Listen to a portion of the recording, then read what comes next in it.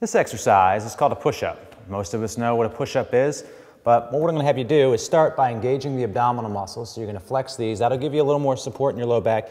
Want your hands about shoulder width apart. You're gonna kick your feet out and back. Feet are also about shoulder width apart.